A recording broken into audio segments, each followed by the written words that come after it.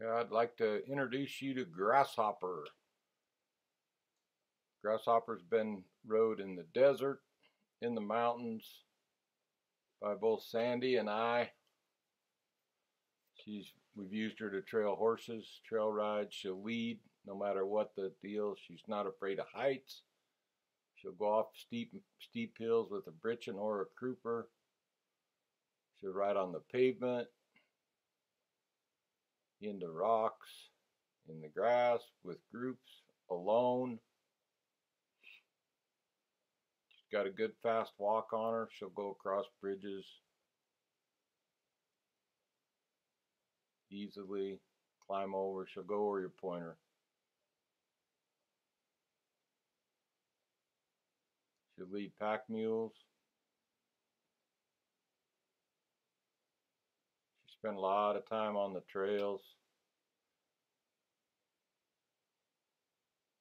and the hunting camp. We have her. Um, not afraid of tarps. You can take your slicker on and off on her. She's good to shoe.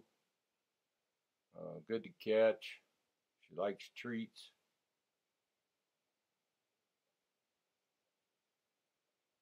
Not a kicker, gets along well in the bunch, gets along with dogs.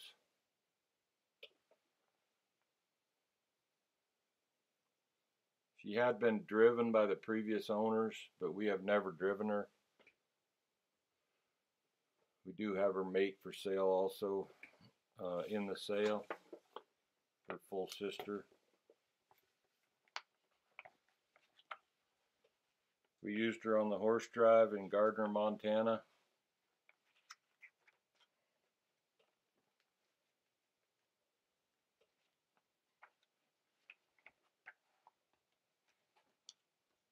She walks out really fast, gets along well with the bunch.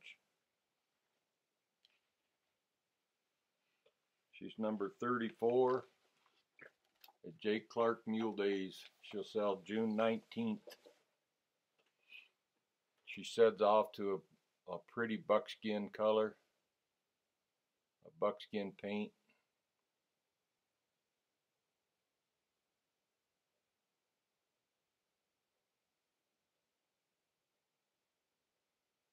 We trailed these horses nine miles that day and she had plenty of fire when she got to the end. We've had her hunting she'll stand good no matter what's going on with the traffic.